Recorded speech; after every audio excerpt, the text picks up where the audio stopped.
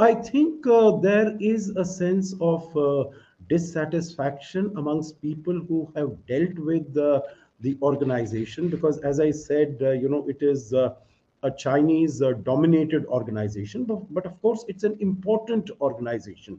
I think yeah. one needs to be cognizant of cognizant of that because it uh, covers about you know 40% more than 40% of the global population and yeah. it covers uh, more than 33% uh, of the global gdp in purchasing power parity terms so it's a very important organization and for india it is extremely important to stay uh, uh, engaged with this particular organization because this whole region of central asia and eurasia is a part of our extended neighborhood which the yeah. prime minister today in his uh, commentary he said that it is a part of our extended family. It's not a neighborhood but it's a family.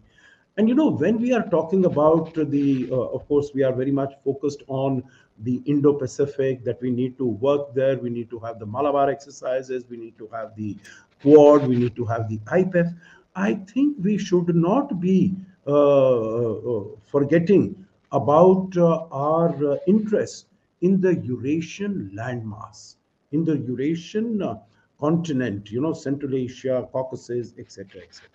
So I think that is uh, very important. We uh, it has uh, the uh, organization has really not been able to uh, meet you know its objectives very effectively, and I could give you a few examples if you would want. that, so you, let me just interrupt you here. Yeah, Are sure. you saying SCO has not been able to measure up to its responsibility with respect to Central Asia? Is that what you're saying? No, it is not uh, in terms of, you know, SCO is the broader organization. And what it says is that it has to maintain peace, security, stability. Now, has it been able to maintain that peace, security, stability in the uh, region that it encompasses? And uh, the examples that I was going to give you is uh, really not. Because uh, if you look at Afghanistan, you know, whatever has been happening in Afghanistan and even around 2021 when the United States was leaving, was the SCO, and we've had an uh, Afghanistan contact group in the SCO since 2009. So, yeah. was the SCO visible anywhere? Was it really able to play a role in bringing about stability and uh, you know giving a sense of peace and security not really. So what does the so uh, uh, let me interrupt you again. What does yeah, that sure. suggest about the sco is it divided? Because the, some of the key guys there have their own games to play whether in afghanistan or central asia. Russia appears to be weakening so in that sense perhaps its profile is down. Is that what you're trying to tell me no, what I'm trying to tell you is that even if Russia had not weakened, you know, if I take the situation as it prevailed on the 23rd of February 2022, that means just before the Ukraine conflict had yeah. started.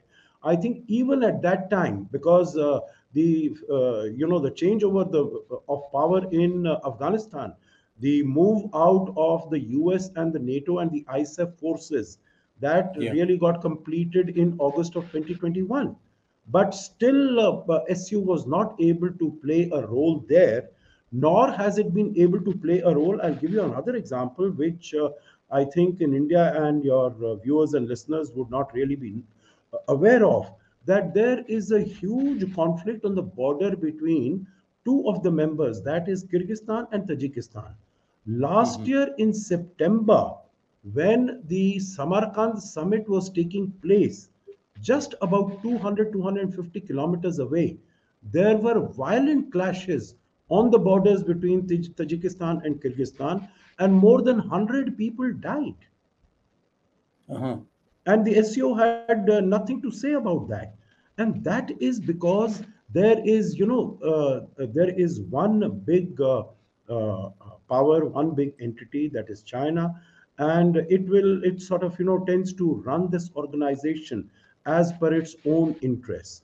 The SU did not even make a statement on this conflict that was taking place just about a few hundred kilometers away. And so there is a lack of coherence as far as this organization is concerned.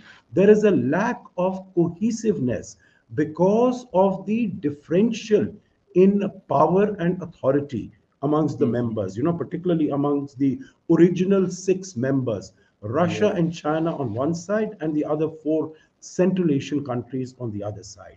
So uh, I think there is a lot of reform, a lot of change that is required. Because you see, when the SCO was formed in 2001, there have been a large number of very ambitious initiatives that have been taken. You know, it was said that uh, let us, all the SCO countries enter into an FTA. And uh, uh, that decision was taken, but it was never taken forward. They said, let us have an SCO bank let us have an SCO energy club. But nothing of that has uh, really come about because, uh, you know, China tends to use this uh, organization for some purposes, while for others, it goes into bilateral relations with these countries. Mm -hmm. For instance, it wants to import gas from uh, Turkmenistan. It'll do it on a bilateral basis. Bilateral, it wants to, yeah. yeah, it wants to import oil from Kazakhstan it will do on a bilateral basis. So this uh, SCO doesn't really come into the picture in that sense.